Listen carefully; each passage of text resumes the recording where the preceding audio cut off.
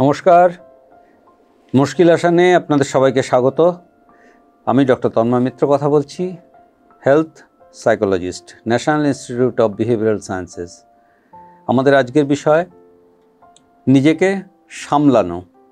নিজেকে সামলে রাখার ব্যাপারটা নিয়ে আমাদের অনেকেরই সমস্যা হয়। প্রায়ই আমাদের কাছে আসা বেশ কিছু মানুষ কথা প্রসঙ্গে এই কথা বলেন যে, নিজেকে আর সামলে রাখতে পারলাম না।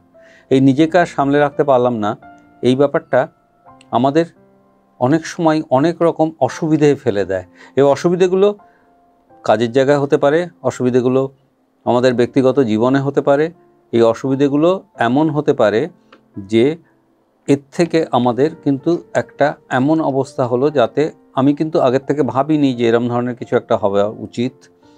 নিজেকে সামলাতে না পারার জন্য সেই সমস্যাটা আমার তৈরি হলো। এই ব্যাপারটা নিয়ে এই জন্যেই কথা বলছি। আমার, আমি জানি যে নিজের মেয়ে কারুর সঙ্গে, কোনো অজানা বন্ধুর সঙ্গে অনেক রাত্রি পর্যন্ত কথা বলছে মোবাইলে। এটা দেখে আমি নিজেকে সামলাতে পারলাম না, এমন কথা অনেক বাবা মা আমাদের কাছে এসে বলেন।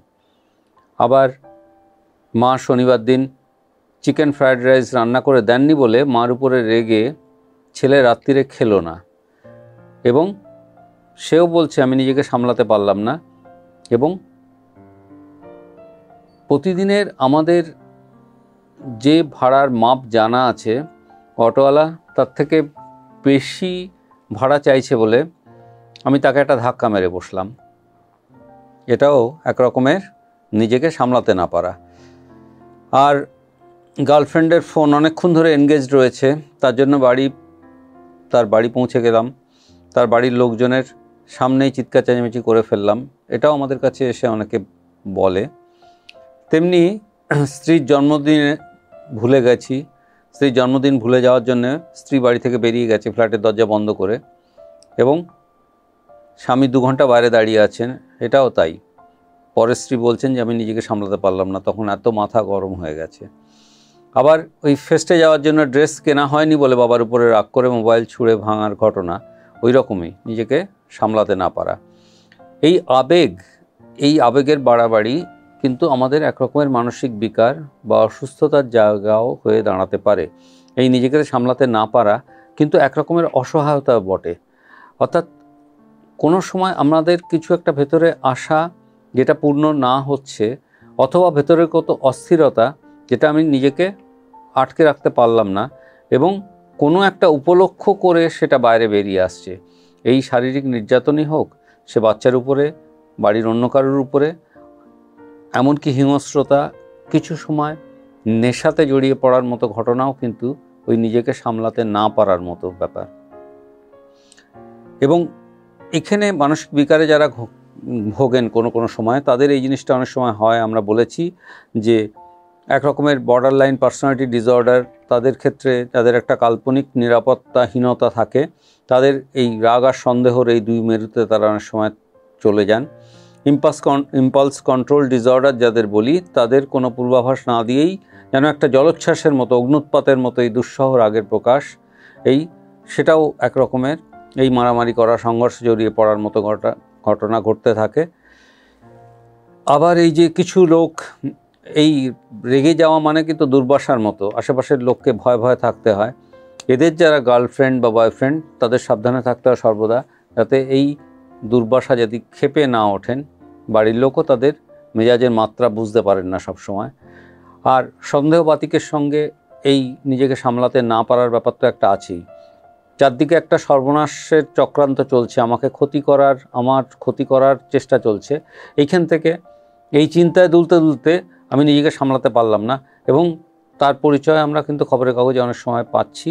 ইনস্ট্যান্ট একটা এই ধরনের সন্দেহবাতিকের জন্য কোনো একটা দুর্ঘটনা ঘটিয়ে ফেলা সেটাও কিন্তু হয়। এই প্রচণ্ড তাপমাত্রা বা স্থান অভাব অর্থাৎ জায়গার অভাব এইসবের জন্যও কিন্তু মানুষের এই রকমের জিনিস শুনতে হতে পারে। নিজেকে সামলানোর জন্য কি করা দরকার?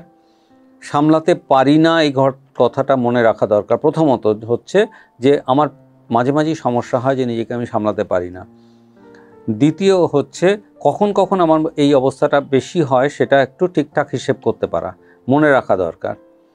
তৃতীয়ত হচ্ছে আবেগ নিয়ন্ত্রণ করার শিক্ষা, এটা ছোটোবেলা থেকে খানিকটা শিখতে হয়। কিন্তু তার মানে এটা নয় যে ছোটোবেলায় যদি আমি না শিখে থাকি, বড় হয়ে আমি কখনো করতে পারব না, এমন নয়। আমরা বলি শিশু কিশোরদের এটা শেখানো যায়।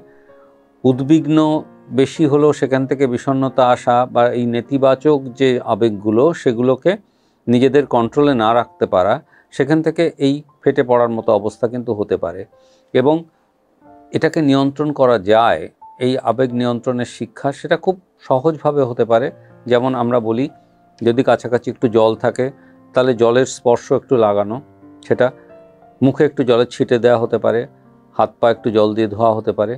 পুরনো কোনো ছবি, যেটা আমার আনন্দের ছবি, ছোটোবেলাকার কোনো আনন্দের ছবি বা বড়োবেলারও কোনো মোবাইলে রাখা কোনো ছবি, যেটা কোনো হাসির ঘটনা মনে করিয়ে দেয়, সেগুলো একটা ভালো কাজে লাগতে পারে এই সময়। একটা শিক্ষা কিন্তু আমরা বলি খুব দরকার যে অন্যের আবেগকে মূল্য দেয়া। আমরা অন্যের আবেগটা যদি সহানুভূতিশীল মন দিয়ে অন্যের কথা শোনাটা যদি সহানুভূতিশীল মন দিয়ে করতে পারি, অন্যের সুখ দুঃখের অঙ্গীকার যদি হতে পারি, তাহলে নিজেদের সামলানোর অনেক সুবিধা হবে।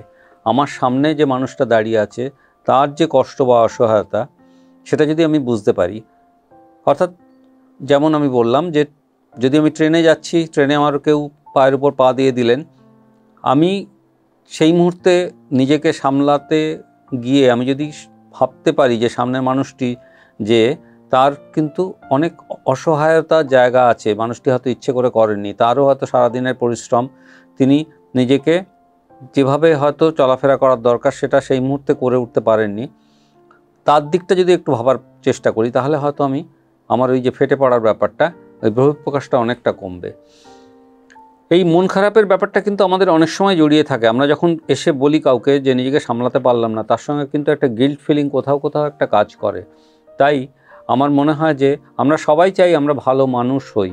তাই আমরা যদি নিজেকে সামলে রাখতে পারি, সামলে নিতে পারি বিশেষ বিশেষ সময়, তাহলে আমরা সবাই কিন্তু মনের দিক দিয়ে এবং অন্যান্য দিক দিয়ে অনেক ভালো মানুষ হয়ে থাকব।